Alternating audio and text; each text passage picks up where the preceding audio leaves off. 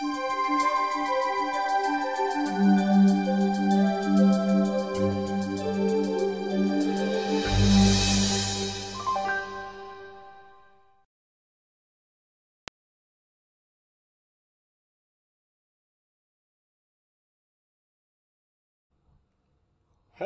and welcome to another Doppler lecture. So this time uh, we're going to start going over the Doppler modalities. And uh, as I said before, this is a very interesting topic. So we're gonna we're going to basically recognize what is the difference between continuous wave Doppler. So we're going to start with that one then uh, later pulsed wave Doppler. Then we're gonna spend a lot of time learning about color flow. There's a lot of information for color flow. And then after that, we're gonna learn about pulse wave. So of course, this is not going to be in only one lecture, so I'm just gonna give you time for you to understand all of this. And um, also, uh, after this, we're going to learn about the Doppler artifacts. And I think uh, basically that's it for this uh, Doppler module that we're going over. Um, okay, so let's let's begin with the continuous wave Doppler and look at the name, right? Continuous. All right, continuous wave Doppler. Alright, the name tells you this probe, this transducer, is continuously sending one sound wave and it is continuously receiving one echo. So there's no pulsed wave in here. So remember this, there is no pulse wave in here. So this system is dedicated it's like all the time producing a continuous wave all the time. So in order to achieve that, your probe needs to have two crystals. And that makes sense. That makes sense. So one of the crystals will be continuously working in transmission and the other crystal will be continuously working in reception. So it makes sense, all right? It makes sense.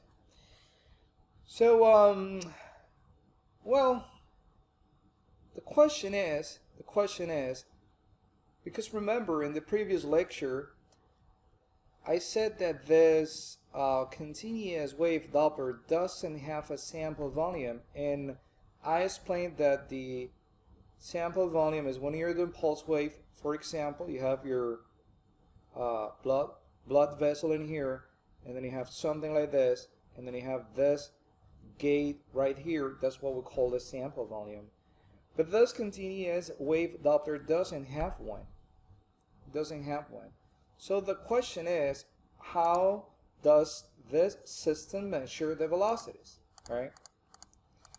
And the answer is really is pretty easy. It's really very easy. So your system, just imagine this is your blood vessel right here, or maybe a cardiac valve. Because in real life, in real life, we use the continuous wave Doppler for the cardiac valves.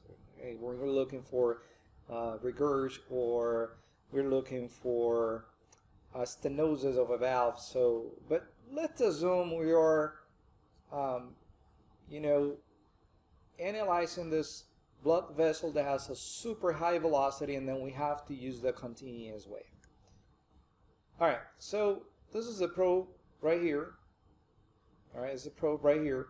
And remember there will be one sound that is going and there is one echo that is coming back. Now, of course, there will be one time that the echo that is coming back will meet on the way with the sound that is going in. And they basically make an overlap. They meet on the way, right? So they create something that we call the overlap zone.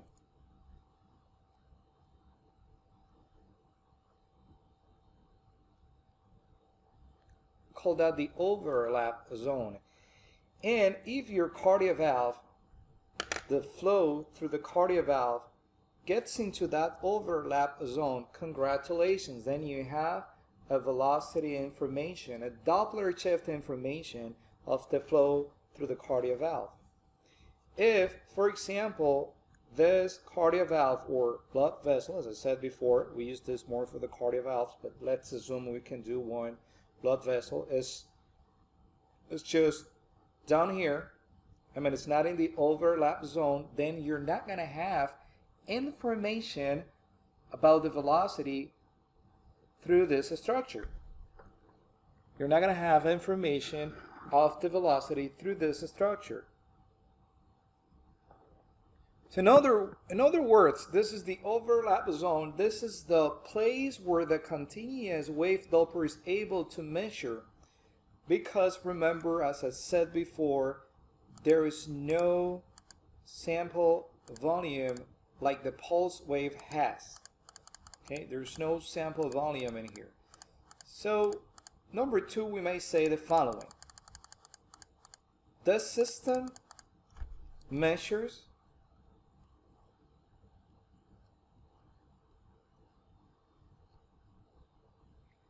measures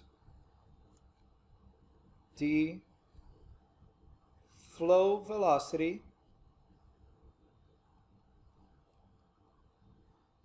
where in the overlap zone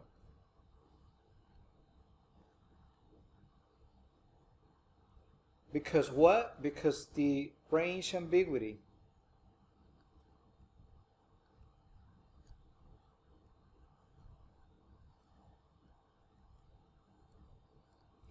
And what is this range ambiguity? Remember, when the sound that is going into the tissues basically interferes or meets on the way with the sound that is coming back to the probe, basically the echo.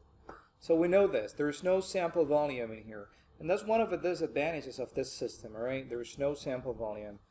So number three, and I think this is the most important when it comes to vascular, is that this system is designed to measure high, very high velocities without aliasing. Well, remember, aliasing is an artifact. We talked about this in the previous lecture. And because the system is continuously recording the Doppler shift, there's no pulse wave. There's no Nyquist limit. So you can measure those high velocities without aliasing. So don't forget about this because the, this is the main purpose why we use this system in here. Okay. All right, so we have two crystals. Uh, the system measures in the overlap zone because range ambiguity. It measures high velocity without aliasing, so we're going good. Next is, in order to produce one continuous wave, your system doesn't have something that we call a damping material, which is, uh, the name says, it's a backing material or damping material behind the crystals that is responsible for creating something that we call the time off in a pulse wave. Time off for listening time. But this system, remembers continuously listen. You know, continue, it continuously listening, and it continuously is, you know, basically ringing, sending one signal. All right, so there's no damping material here, and because of this, this system has a very high sensitivity to the flow. All right, has a very high sensitivity to the flow. And then number five, this is a type of a spectral Doppler. And what is what is a type of a spectral Doppler? It's a type of Doppler that gives you a waveform where you are able to measure velocities, resistive index, pulsatility index, systolic diastolic ratio, diastolic systolic ratio, and many more type of measurements that we do in Doppler. So um, if we go to the uh, internet, all right, I'm just gonna go here, and I said, well, uh, it's a spectral Doppler, and then go ultrasound, and then we have, you know, this is a waveform right here. It's just like this. It's not continuous wave Doppler, all right? Okay, so when you type a spectral Doppler, it's going to give you a waveform. So this one right here, all right? So this one is continuous wave. Now look at the difference between this continuous wave or this one right here and maybe this pulse wave in here. So the difference is that pul this pulse wave is is clean, it has a window. The continuous wave doesn't have one. It's like type of more, if I want to say, if I want to find a word, is a type of dirty window. You know, it's a type of dirty waveform. It doesn't have a window on it.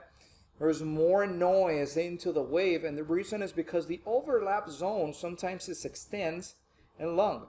And you have all those frequencies coming back to the probe, and the system says, hey, have to place those frequencies like in, you know in some place and I will place it in a window you know? This is what we call the window right here. And the continuous wave doesn't have that. It's a type of more noisy dirty um, um, you know Doppler modality. So um, so high sensitivity is a type of a spectral Doppler so we're able to measure as a spectral Doppler we're able to measure peak velocities But listen to this. This system depends on the angulation a lot. Meaning that if you're getting closer to 90 degrees, if you're, uh, as you're getting closer to 90 degrees, you are in a problem. Because your velocity values are going to be far from the reality. Okay? It will give you mistakes in the measurement of the peak systolic velocities. So we need a correct angulation in here. So we may say that this system is angle dependent. All right, and then we have all the aspects that have to do with this continuous wave Doppler, all right? But I'm just going to show you something. Remember, point number three was like this system is designed to measure high velocities without aliasing. So that's good to know. All right, so I'm just going to connect my system now to the software. And let's take a look to, um, to what's going on in here. Okay, that's the system in there. All right, and then um, it's in the cardiac modality right now. And I'm just going to find the, um, just going to do a continuous wave recording right now. I'm going to use my own heart and uh, let's see how it goes. So I'm going to show you how this continuous wave Doppler works.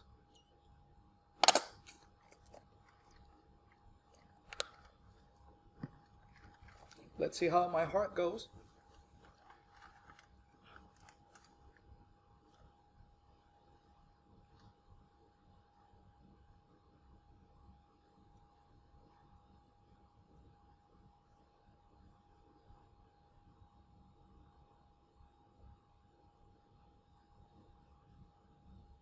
Of course, I can give you a better picture, but I'm not in the right position, and I'm scanning myself. Well, I'm going to try to do my best in here. Try to do my best in here and uh, go a little bit deeper.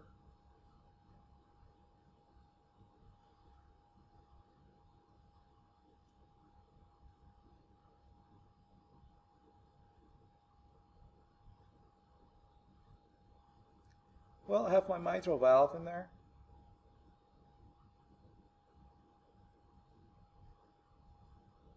And I'm going to use the continuous right now. See if I can get a better picture of it.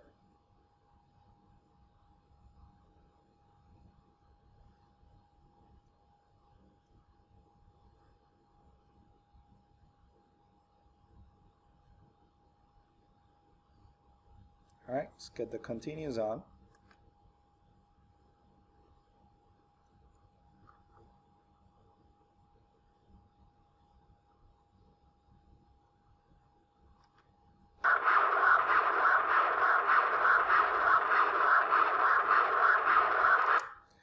All right, and um, well, that's the continuous wave. Seems like I have a little regurg in my mitral valve in here. I knew it before, that's fine. Uh, but see, that's what I'm talking about. This system, um, you know, it gives you this kind of a noisy waveform where you can do measurements. If I want to measure the um, velocity of my uh, mitral regurg, I can go this way and look for uh, mitral regurg here. All right, let's go and take a look to um, where the mitral regurg is.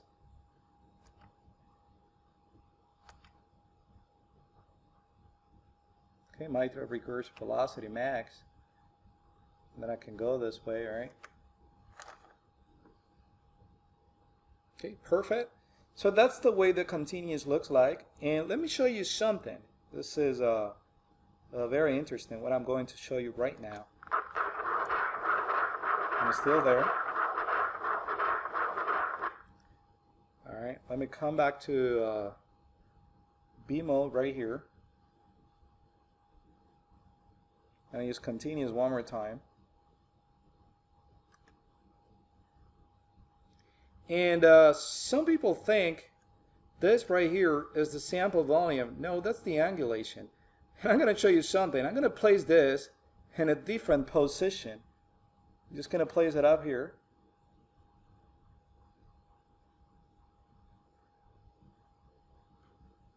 All right. And still I'm going to have the same result. Let's go there. So look what you think the sample volume is. Remember, continuous wave doesn't have a sample volume, right? So let's take a look to this.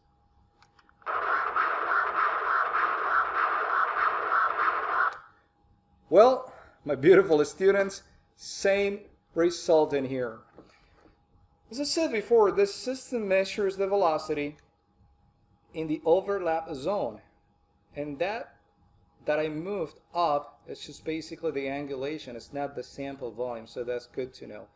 Remember, the system is designed to measure high velocities, all right? Sometimes if you do this with pulse wave, I mean, you're going to have aliasing. And let's try the pulse wave. Why not? Let's do it. We're going to talk about the pulse wave now anyways. Okay, let's find my heart one more time.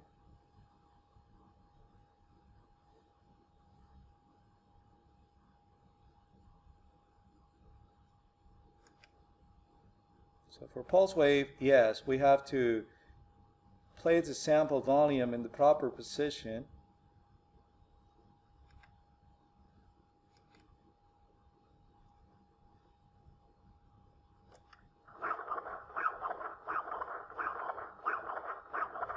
Wow. Yes, now we have what?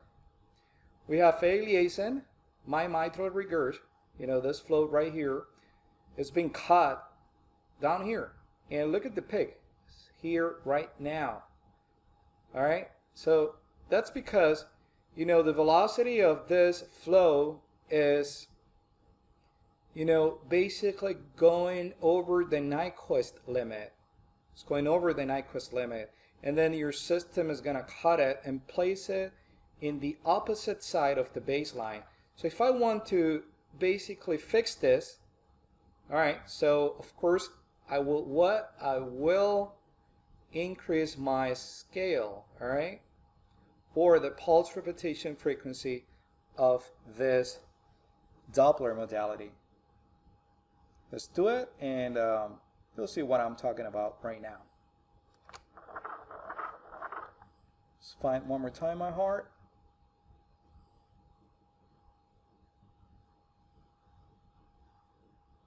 Pulse wave.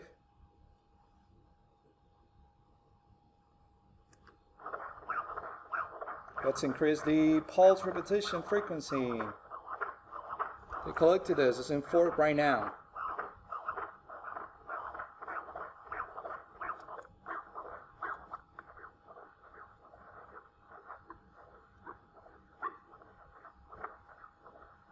Find my heart more time. So pulse repetition frequency now is so high that the sensitivity to the flow is gone. Remember what I said before. If you increase the pulse repetition frequency, then the sensitivity to the flow is going to be affected. Let's try to get a better picture in here so I can uh, use my pulse wave one more time.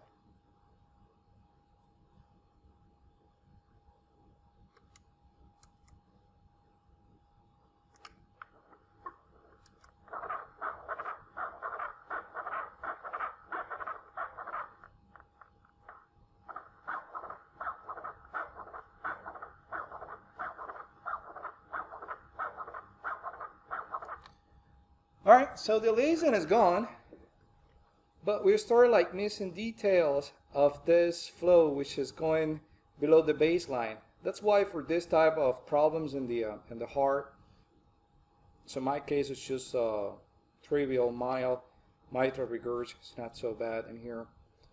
I know because the cardiologist told me that.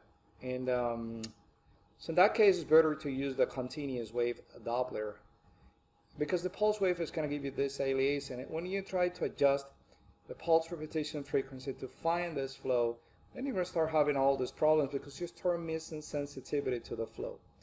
So um, take a look to this. This is the flow of the mitral towards the probe, all right, going towards the ventricle. And look at this beautiful window, all right. There is a window for the pulse wave that the continuous wave doesn't have. All right, so um, yes, let's uh, come back and now we're going to talk about this pulse wave Doppler right now. Okay, let's do it.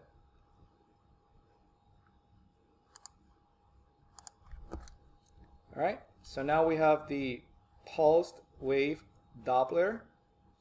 Look at the name pulse wave, meaning that your wave now, you know, the sound wave now it's going to be like this. Has a time on and it has a time off.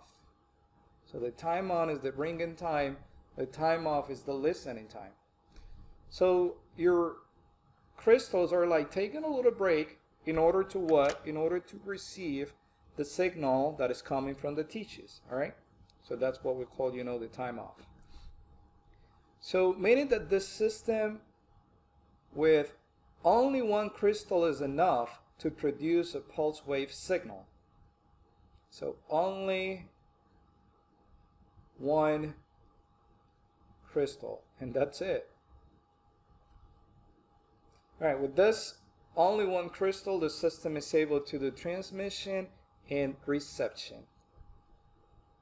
Okay, right now the system has a sample volume. Congratulations, we have a sample volume, so that means that we can measure the velocity whatever we want. We don't have this overlap zone anymore. We don't talk about range ambiguity anymore. Now, because we have a sample volume, we prefer to use the term range specificity.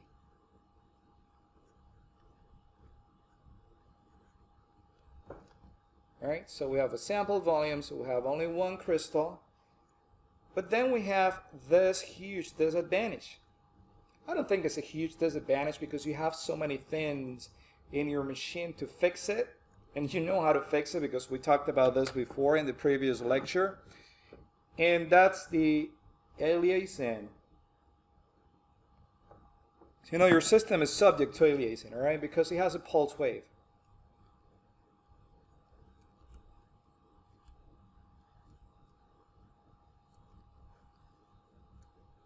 And if you have a pulse wave, remember you're going to have a Nyquist limit. And if that's the case, the Doppler shift can go over the Nyquist limit and then your system is going to give you this aliasing, right? Okay, perfect.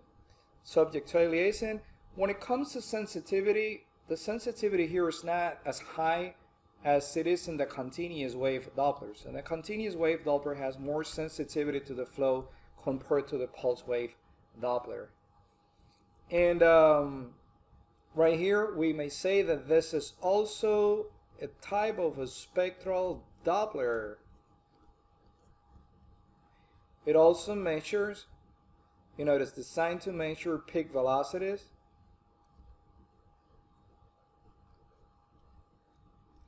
And it is angle dependent. Meaning that, hey, be careful, if you don't use the proper angulation, then your velocities are going to be wrong. That's good to know. You're going to be wrong. Okay? So let's compare the pulse wave Doppler to the continuous wave Doppler. Now the continuous wave uses two crystals, one for transmission one for reception.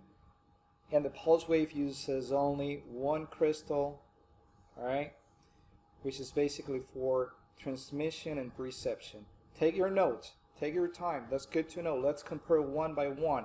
Continuous wave Doppler uses two crystals, one for transmission, one for reception. Pulse wave Doppler uses only one crystal for transmission and for reception. That's why the system needs to take a break. And we call this the time off, the time when the system is listening to the echo that is coming back. The continuous wave doesn't have a sample volume. It measures the velocities in the overlap zone due to range ambiguity. And the pulse wave Doppler, yes, it has a sample volume so you can place it wherever you want and you will have information from that place.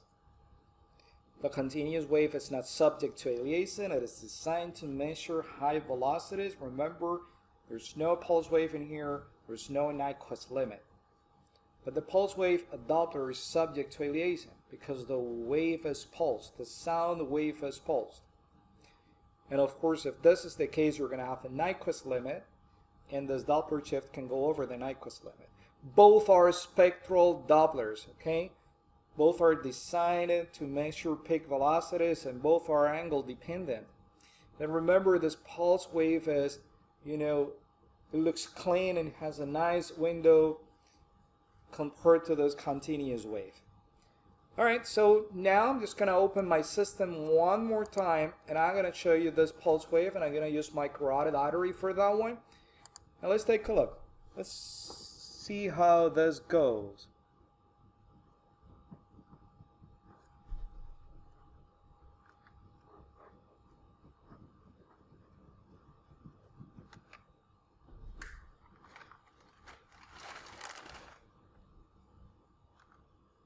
Okay, I'm just going to use the application for for the carotid.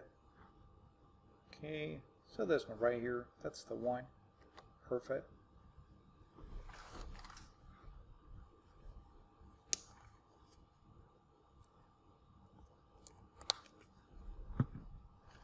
All right, let's see how it goes.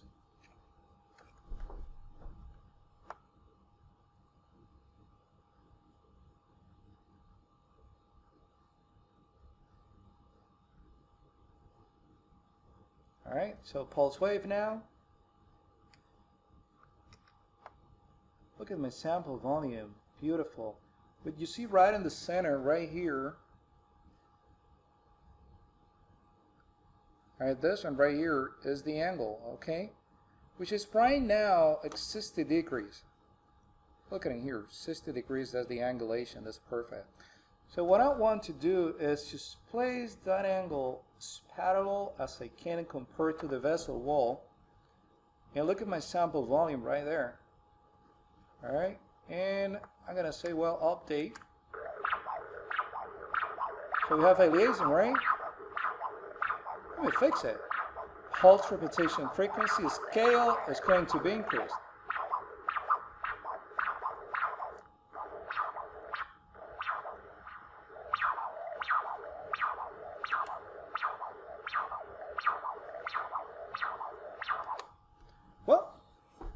Have a beautiful waveform in here.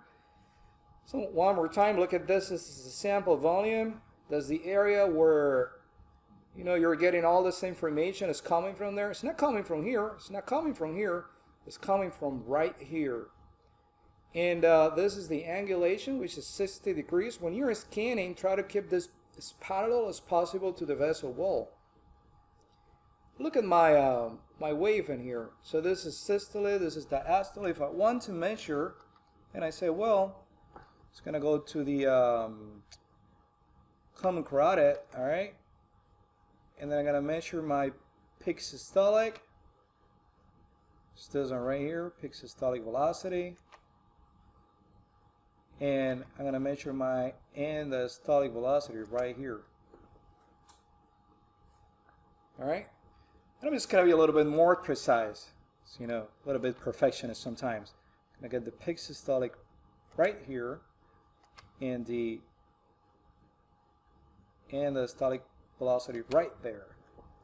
Okay, so um, yes, so your system is giving you information about peak systolic velocity, and see this wave is so clean, is so nice. There's no range ambiguity. There is range specificity. All right, so um, with this, we're done with this lecture. I hope you enjoy it. Uh, next time we're gonna we're gonna go over color flow. Color flow is more complex. It has a lot of you know information to go over. We have to know about packet size. We have to know about uh, priority control for the system, where the flow is going, if it is moving towards or away the probe.